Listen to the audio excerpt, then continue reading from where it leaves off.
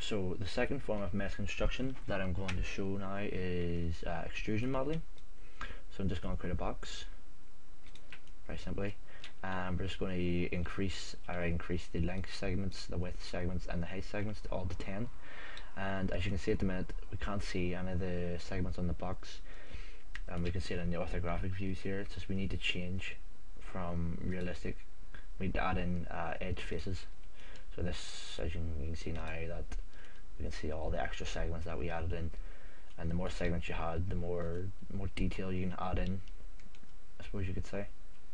So I'm going to click on the box uh, modifiers again.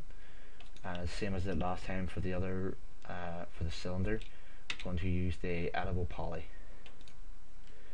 Now for uh, extrusion modeling you just want to you want to select the polygons so if I wanted to make a, uh, no, a robot head or a robot body so we could uh, select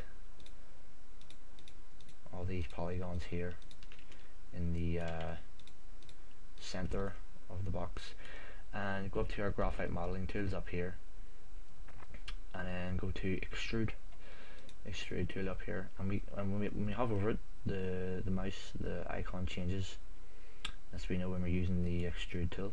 So we just click the simply move up or down depending on what you want to do. So in this case I want to move it up. And and then we want to go to the side here. And we're just going to extrude these out again. And again for this side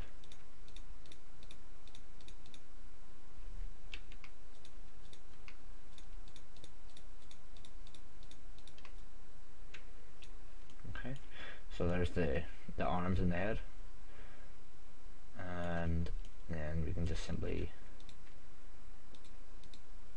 drag these down.